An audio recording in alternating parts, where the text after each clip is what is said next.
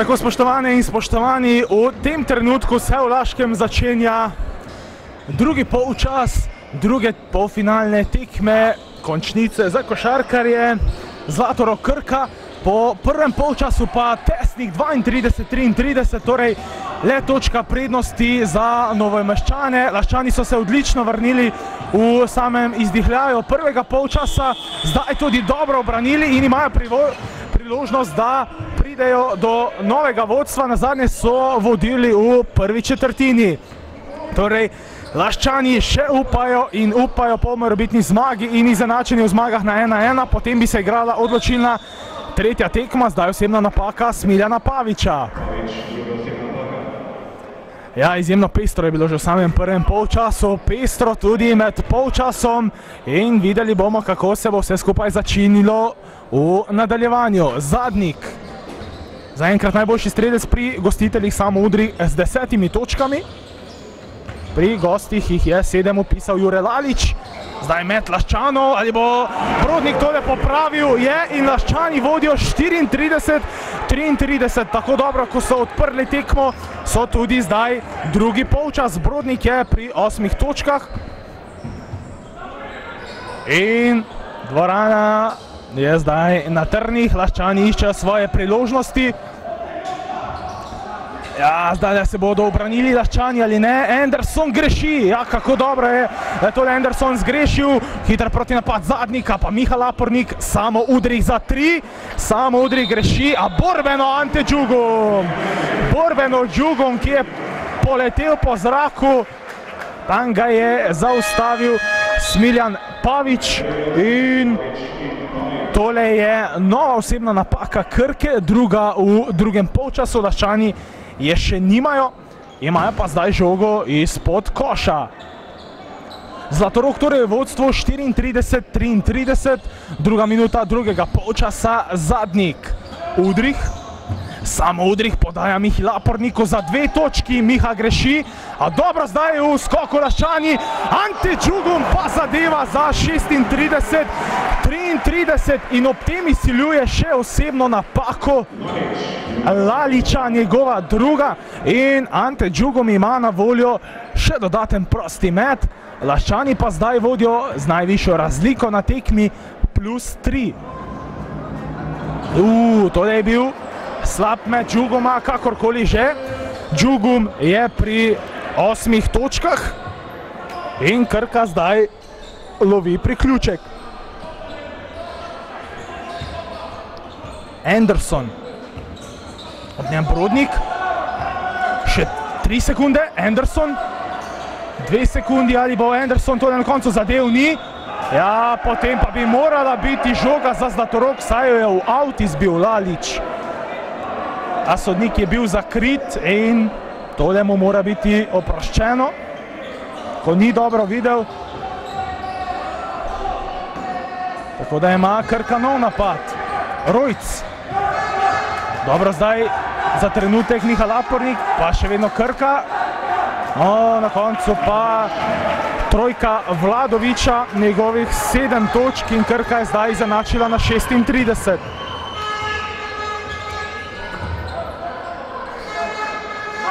Miha Lapornik, blok Džugoma, Udrih, samo Udrih za dve točki, ja, samo Udrih zadeva in še osebna napaka Andersona.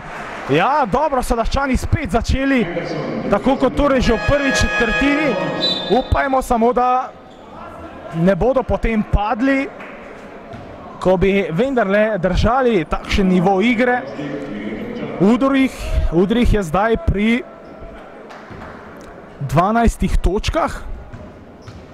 Še dodaten prosti met, torej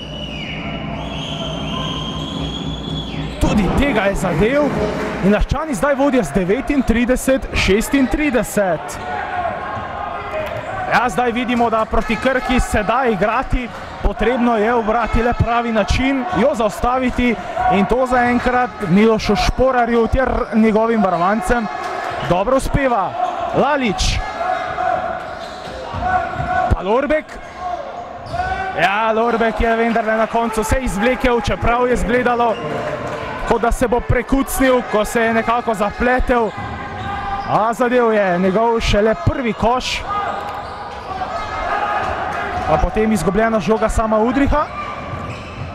Na koncu pa so se krkaši po nepreprečljivem proti napadu izvlekli. Lalič do desete točke. Vladovič zdaj pri drugi osebni napaki, Krka pa je že izpolnila bonus. Pet osebnih napak, medtem ko Zlatorok še ni storil osebne napake nad gostujočimi košarkarji in to je dobro. Zadnik, zadnik ko prvo zadeva, 40-40. Zadnik je pri šestih točkah. Tole je njegova sedma. Raščani spet vodijo, 41-40.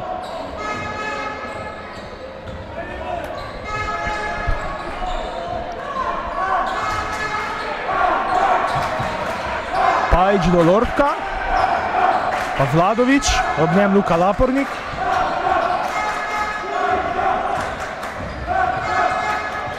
Ja, Lorbek tudi tole ni zadev, je pa popravil Lalič in Krko spet popeljal v vodstvo za točko.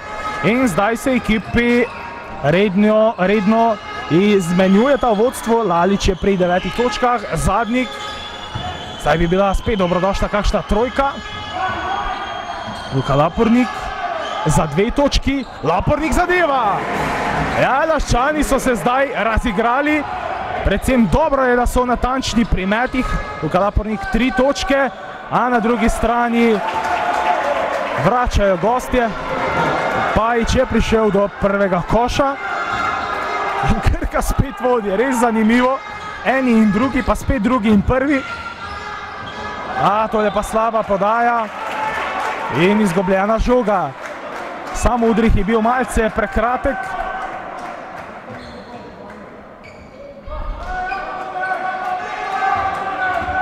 Krka pri novi možnosti za povišanje prednosti. Klobočar, ob njem Udrih. Tam se odkriva Lorbek. Lorbek do Laliča. Pa potem osebna napaka Jake Brodnika.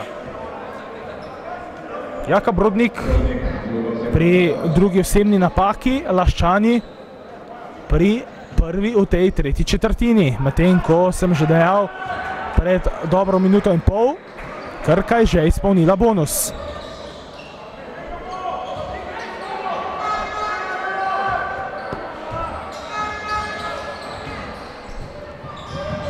Ja, tole je zgledalo, da bo lahko za Klobučarja, a je zgrešil. Potem pa nažalost domačega moštva koraki Jake Brodnika, ki je imel odprto vse do obroča, a pozabil odbiti. In zdaj so na potezi znova krkaši. Klobučar. Pa Vladovič, dobro obrambi zadnik. Zadnik zadeva. Zadnik zadeva za 45-44. Zdaj sodniki upozarjajo gostujočega trenerja. Zadnjih pri devetih točkah, vse bolj nervozni pa postajajo gostje. Ja, kar naj jim bo vroče, dokler se Laščani tako da dobro držijo. Daj pa dobro, Luka Laporni, kako je blokiral Pajiča. Zgledalo je, da bo Pajič rutinirano zaključil, potem pa je kot strela z jasnega udaril Luka Lapornik, zdaj pa je Džugom izsilil še osebno napako.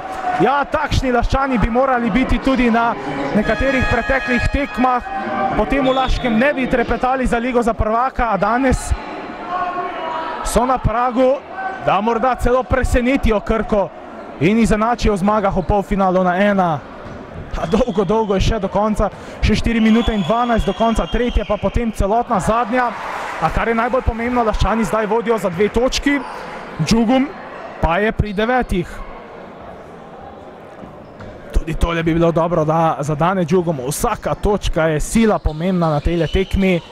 Džugum pa tudi tole izkorišča 10 točk in Laščani vodijo 47 proti 44.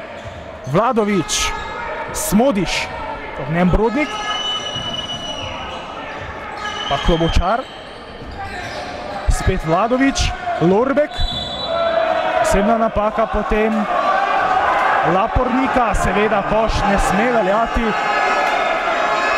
kajti osebna napaka je bila storjena že prej.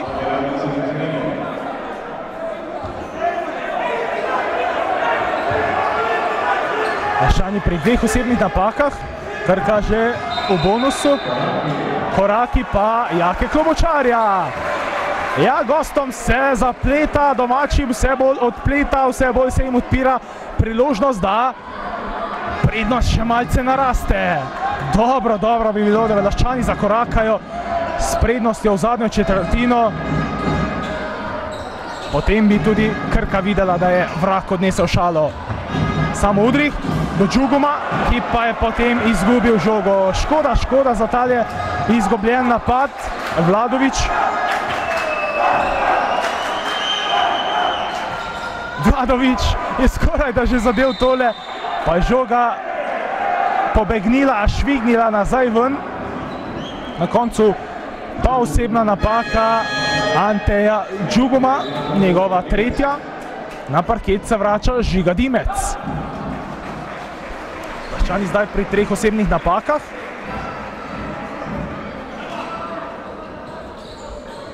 Lorbek. Še vedno Lorbek. Uh, dobro, zdaj Laščani v obrambi. Vendar pa Smodiš je prišel do meta in Smodiš to je zadeva. Smodiš zadeva. Zdaj je pri skromnih štirih točkah, minuto odmora pa je vzel trener Miloš Šporar. Mislim, da res pravilna poteza v tem trenutku, namreč potrebno je nadaljevati s takšno igro in vsak koš lahko tehnico počasi prevesi, prevesi na stran Krke, zato je Šporar v slogo največjih in izkušenih trenerjev potegnil Džokarja iz rokava in pri prednosti Zlatoroga 47-46 vzel minuto odmora. Do konca tretje četrtine pa zdaj še 3 minute in 9 sekund. Laščani torej še naprej vodijo in pomembno je, da fantastično parirajo danes ne tako zanesljivi in prepričljivi Krki in danes se lahko Krko, seveda, če bo tudi sreča naklonjena, fantom izpod dvorane Tri Lilije, nasmehne morda celo prva zmaga v polfinalu. Kljub temu še dolgih 13 minut je do konca, potem pa bomo dokončno potegnili črto, zdaj pa v napadu Laščani, Dimec, Zadnik, Brodnik,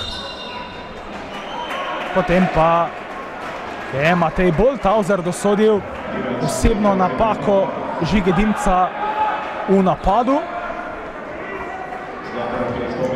Zdaj so tudi Laščani zakorakali v bonus, torej izpolnjen bonus in vsaka osebna napaka bo pomenila dva prosta meta za nasprotnika. Vladovič, pa tam Ladič. Pa spet osebna napaka Žige Dimca. Njegova četrta. In zdaj ima Lalič na voljo dva prosta meta. Dimec pa še vedno ne more verjeti, kako je prejel to osebno napako koga je Matej Boltauzer le čakal, da mu prisluži še nešportno, pa se je potem umiril.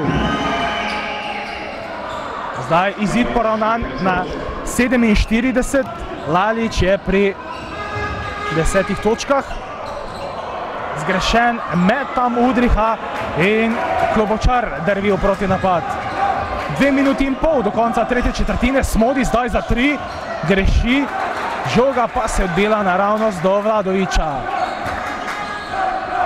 Zdaj bo pomemben vsak koš, vsaka poteza. Vladovič. Podaja Laliču. Samo Udrih pa je sprva kazalo, da je udaril po žogi, a sodniki so videli, da je šlo tukaj za osebno napako. In Lalič ima na voljo dva prosta meta. Prvega zadeva.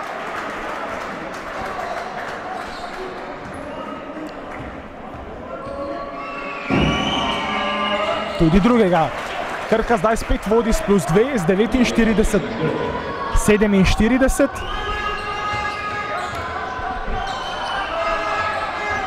Brodnik. Odkriva Udrih. Ali bo Udrih tole zaključil, nima uspelo, to pa žiga Dimec, ki pa je tudi zgrešil. Škoda, škoda za te priložnosti, kaj ti Krka lahko spet pride na več kot dve točki prednosti. No, Lorbeku je uspelo povišati na plus 4. Lorbek je pri štirih točkah. Zadnik. Udrih. Luka Lapornik. Pa spet Udrih. Še 7 sekund. 4.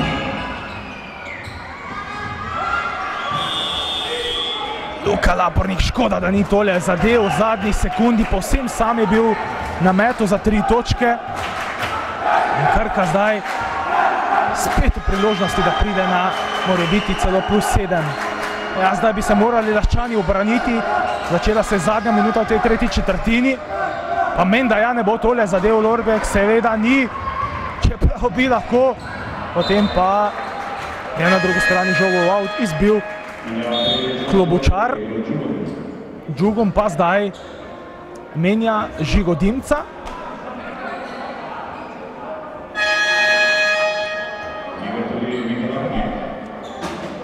Iz igre tudi samo Udrih, ki ga bo pred zadnjo četrtino spočil, trener Milo Šporar. Vrača se Miha Lapornik pri Krki, pa na parketu znova vidimo Smiljana Paviča. Iz igre Jure Lalič. Luka Lapornik.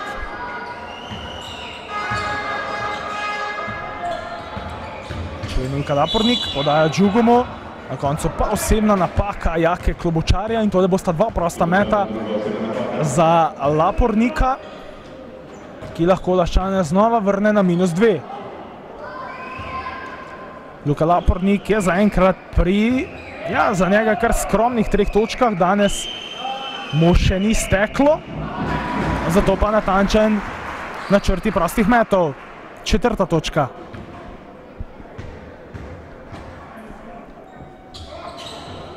Tukaj je tudi peta in Laščani zdaj na minus dve, začela pa se je zadnja minuta. Smo natančni še 35 sekund do konca te predzadnje četrtine.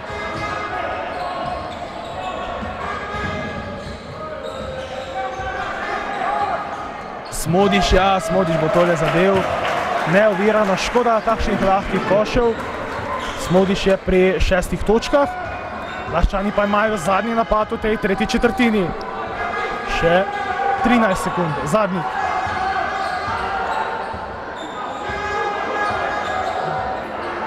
Še 7 sekund, še vedno zadnjik. Zadnjik za dve točki, u, škoda, da je tole tako grdo zgrešil zadnjik. Sploh ne vem, kaj je čakaj tako dolgo, ko se mu je tam odkrival Borodnik.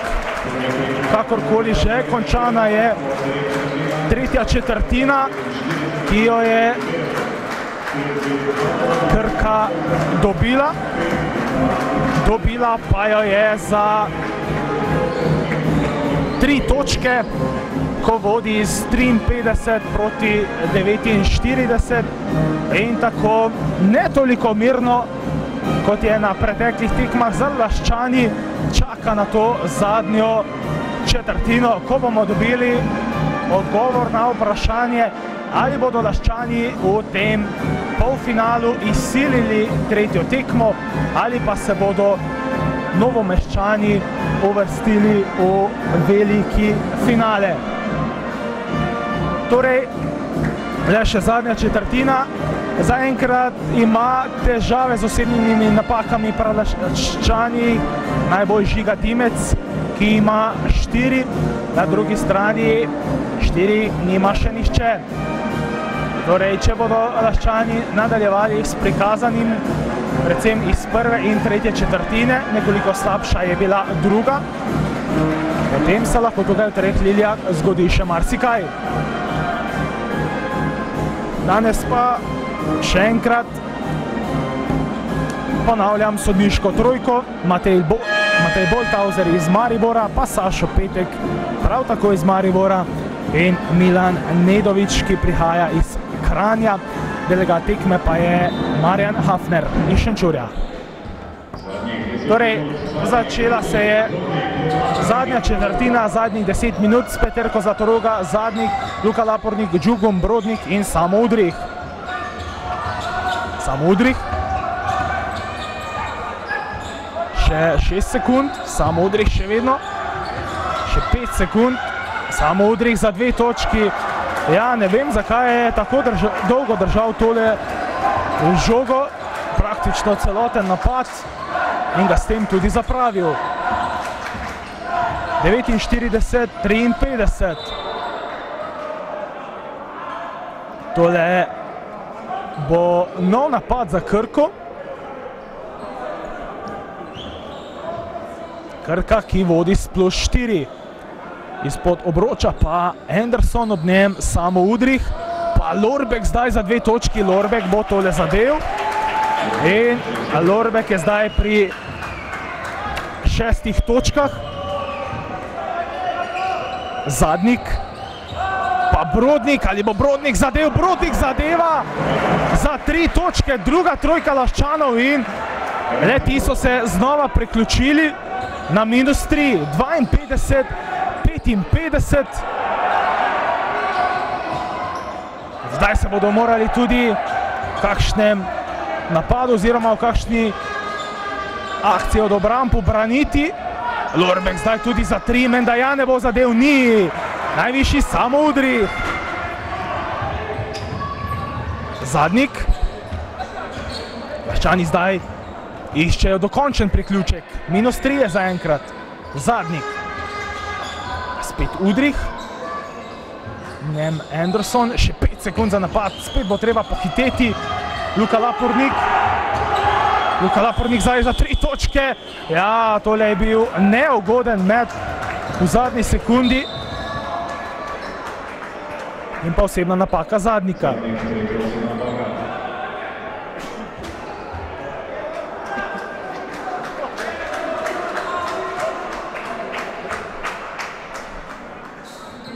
Dvainpetdeset, petinpetdeset je v dvorani tri lilije, osem minut in pa pet sekund do konca tekme.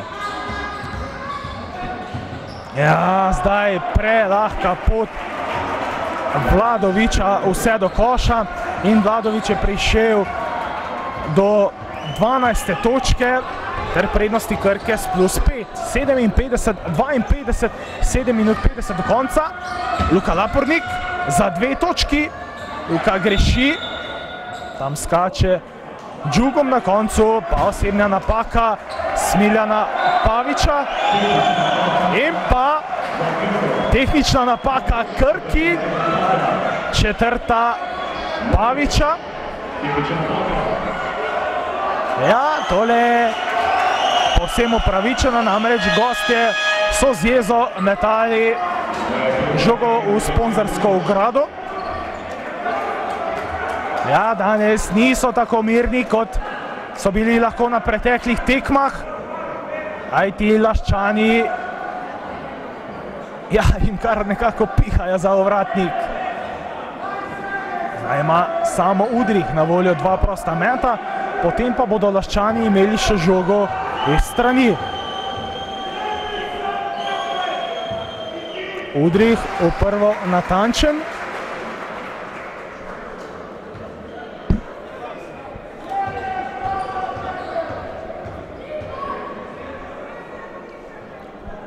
Tole je že njegova 15. točka. Laščani so zdaj prišli spet na minus 3, 54, 57. Če bodo uspešni v tem napadu, pa je lahko na semaforju še manj. Zadnik. Luka Lapornik. Tam se odkriva Brodnik, a dobro ga je pokril Lučič. Vendar le Brodnik, še 10 sekund, ali bo Brodnik tole zadev? Ni. So to pa uspešno obrambi, samo Udrih, ali bo zadev samo trojko? Ni. Škoda, škoda, da samo ni tole zadev. Potem bi bili spet izenačeni, ko pa ima Krka nov napad. Lučič. Blok Paviča. Pa Murič, ali bo Murič zadev za tri? Ne, Murič ni. Bo prišel do žoge? Na koncu leta prelaščani. Anderson je bil prekratek oziroma prepočasen. In Laščani znova lovijo priključek s trojko, bi se izenačili.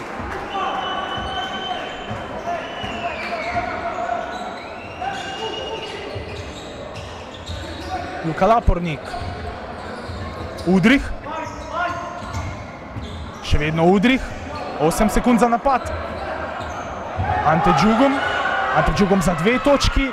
Ja, tole je Džugom zgrešil. Pomembnih metov Džugom nikakor ne zadane. Škoda, škoda. Namreč na semaforju zdaj kaže vse manj in manj. Zdaj je še 6 minut in 15 sekund. Zaostanek je tri točke. Murič. Tole pa ugriznil se bom za jezik. Namreč tole tukaj ni bilo osebne napake, ki pa so jo deljivci pravice na koncu dosodili Luki Laporniku in Murič ima na voljo dva prosta meta. Ter možnost, da poviša prednost. Morič v prvo zanesljiv. Šest točk.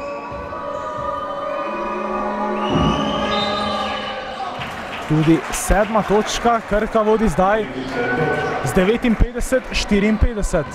Natanko šest minut do konca druge polfinalne tekme med Zlatorogom in Krko. Udrih. Samo Udrih za tri točke. Ja, samo Udrih tudi tole greši in zdaj bi ga moral trener Šporar počasi že zamenjati. Potrebno ga bo malce odpočiti za sam finiš tekme. Anderson. Pa Lučič zdaj neovirano greši. Lučič greši. Udrih pa je uspešno vzel žogo. Z osebno napako ga zaustavlja Lučič.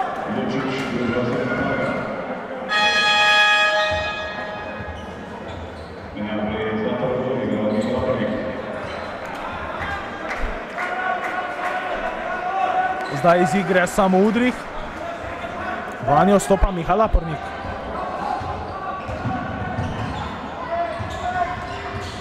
Luka Lapornik. Tam blok Brodnika, a dobro stojijo gostje, še 10 sekund. Zdaj zadnjih za tri točke, tudi zadnji greši. Ščani zdaj nikakor ne zadanejo kakšno izmed trojk, ki bi jih spet vrnila nazaj v igro. Tako pa Krka izkorišča napade, a ni ji uspelo, zato pa Luka Lapornik zadeva za dve točki, kako neugoden met. Tukaj bi morala biti še osebna napaka, ki pa jo na začudenje celotne dvorane. Sodniki niso dosodili. Res neverjetno, kljub temu je Luka Lapornik zadev, je pri sedmih točkah, Laščani zdaj zaostajajo spet za tri. Lučič, Anderson, Anderson za tri in spet zapravljen napad Krke. Ja, žoga na koncu ne laže. Če ni bila na eni strani osebna napaka, pa se je Krki to maščevalo na drugi. 56-59 je spoštovane in spoštovani. Želeli smo si takšne zadnje četrtine, takšne končnice na drugi polfinalni tekmi in zdaj smo jo tudi dočakali. Marsikdo si je mislil, da bo Krka tudi na drugi tekmi prišla do lahke zmage, ko je že na prvi slavila 86 proti 66, torej za 20 točk. Danes pa se bo morala za drugo zmago zelo, zelo potruditi. Tudi če Laščani izgubijo, ne bo nič narobe, namreč mlada zasedba Miloša Šporarja se je uvrstila v pol finale. Vedela se je, da bo kaj več praktično nemogoče. Zdaj pa Laščani dobro dihajo za ovratnik favoriziranim Krkašem in tudi ti so že danes nakazali oziroma dokazali, da niso tako mirni. Torej 4 minute 23 do konca, 56 Zlatorog, 59 Krka, zadnjik. Miha Lapornik, tam teče Jaka Brodnik, odkriva se Džugom, ali bo tole Miha Lapornik zadev, Miha greši, najvišji pa Lučič. Vsak koš bo zdaj zelo, zelo pomemben. Anderson. Klobočar. Lalič, pa Murič. Ja, Murič greši, dobro, da je Murič tole zgrešil. 3 minute 40 do konca. Luka Lapornik zdaj za tri točke. Ne, Luka Lapornik je zgrešil, Jaka Brodnik popravlja. Jaka Brodnik popravlja in zmanjšuje zaostanek le na minus ena. Zlatorok 58, Krka 59. Jaka Brodnik pa je zdaj pri 13 točkah. Če mu ni šlo v prvem, pa mu gre zdaj v drugem polčasu. Uh, kako postaja vroče, pa menda ne bo tole zadev.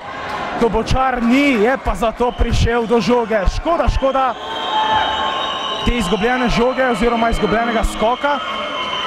Lučič pa zdaj povsem sam, tole so bili koraki, koraki, a sodniki niso piskali. Lučič pa greši še naprej. No, na koncu je vendarle zadev. Pa čeprav so bili na začetku koraki, videla jih je celotna dvorana in to pove vse. Krka vodi z 61-58, Luka Lapornik. Ante Džugom, ja, škoda, da ni tole Ante Džugom zadev, kajti Lalič je storil osebno napako. In tole bosta dva prosta meta za Laščane. Ter priložnost, da se Laščani približajo na minus ena, seveda, če bo Ante Džugom zanesljiv iza črte prostih metov.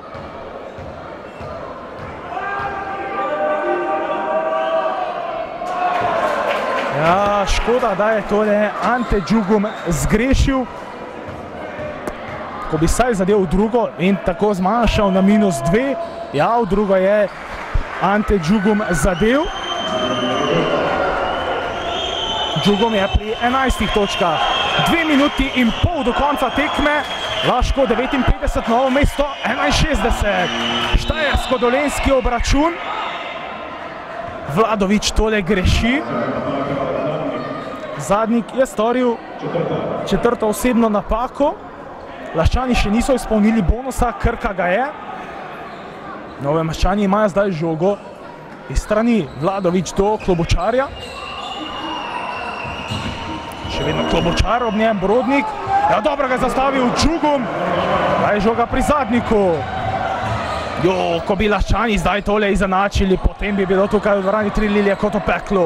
Džugom zdaj za dve točki, Džugom zadeva, potem borbeno Luka Lapornik, ki je silil osebno napako.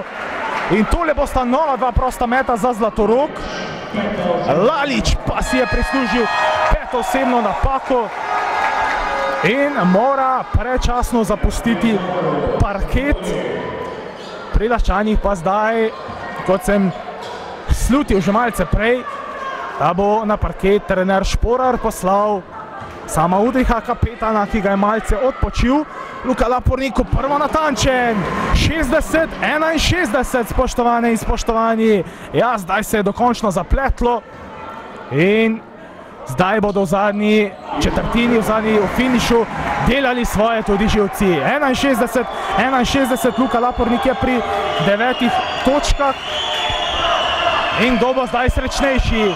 Zadnja minuta 50. Ali Krka v finale, ali Laščani po tretjo tekmo v novo mesto. Pavič, semna napaka tam, sama Udriha. Tole bosta dva prosta meta za Smiljana Paviča, medtem ko si je samo Udrih prislužil osebno napako. V igro pri Krki pa se vrača Anderson, iz nje Jaka Klobočar.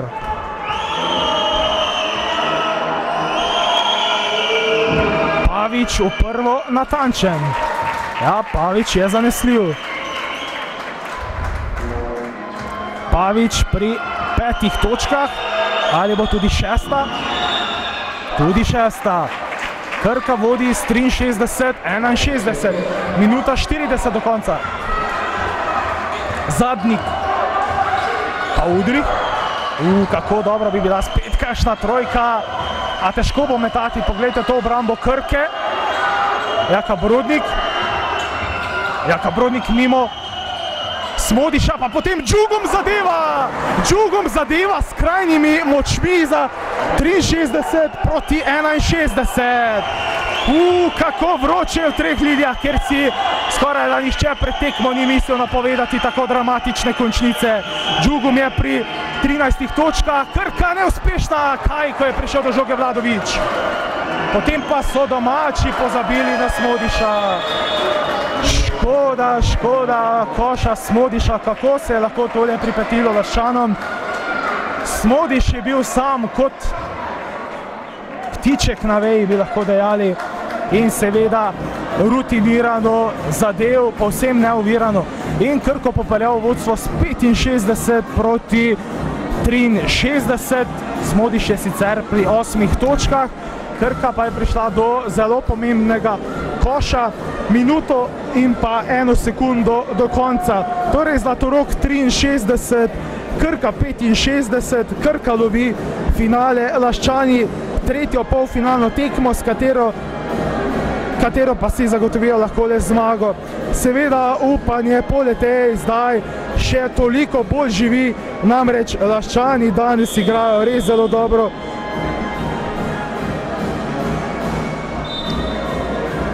Če smo pomislili že v drugi četrtini, ko Laščanom na trenutke ni stekal, da bo vse skupaj konec, pa so Laščani odgovorili, spet ulovili priključek, povedli in zdaj pred zadnjo minuto in sekundo lovijo zaostanek dveh točk in možnosti, možnosti zasedbe trenerja Miloša Šporarja so še zadnjik, Džugom, Udrih, samo Udrih za dve točki, samo je skoraj da zgrešil, ali pa pravil Džugom in spet izenačenje. 15. točka Džugoma, 65, 65, še 48 sekund do konca tekme. Vladovič, ob njem zdaj Džugom, ali bo šel Vladovič do konca, podal je Muriču, Murič pa zadeva, kako returnirano je tole zadev Murič, 9 točk, še 40 sekund do konca, 67, 65 za Krko, zadnjik, zdaj Laščani morajo zadeti, Udrih, še vedno samo Udrih, pa uro zadnjih za tri točke, zadnji greši, a najvišji Džugom, Džugom, to je bila osebna napaka Paviča, ki pa je sodniki niso videli. In Krka si je preigrala nov napad, s katerim lahko odloči potnika v finale oziroma zmagovalca na tej drugi tekmi, drugi polfinalni. Vladovič ima zdaj na voljo dva prosta meta, ko Krka vodi za dve, zdaj za tri. Do konca ostaja slabih 20 sekund. Vladovič pa je pri 13 točkah.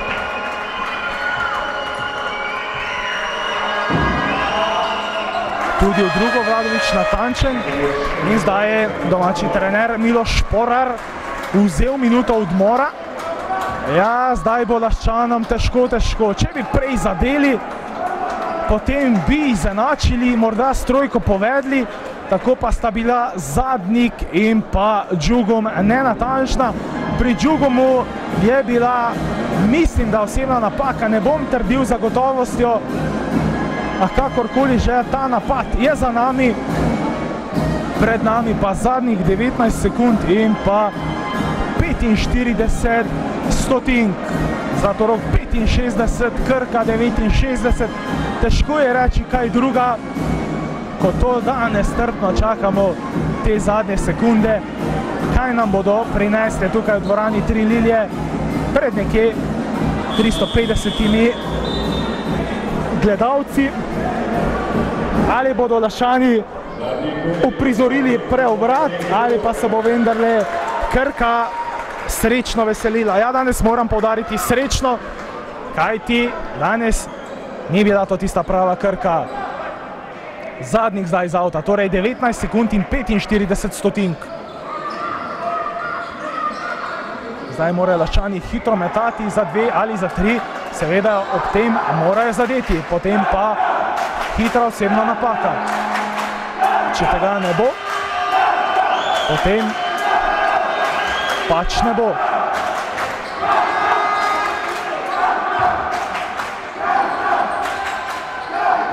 Zadnjih torej. Zdaj zadnjih išče Udriha, ni ga našel, zato pa prižogi Jaka Brodnik. Luka Lapornik. Luka Lapornik, pa Jaka Brodnik za tri točke. Jaka Brodnik greši, najvišji Luka Lapornik, pa samo Udrih zdaj za tri. Samo zadeva, samo Udrih zadeva. 4 sekunde 95 do konca. Neverjetno, neverjetno. 68, 69 kaže na semaforju. Samo Udrih je zadev, a mislim, da malce prepozno. 18 točk. Udriha, škoda, da Lašani niso zadeli že na začetku, ko je bil pri žogi Jaka Brodnik.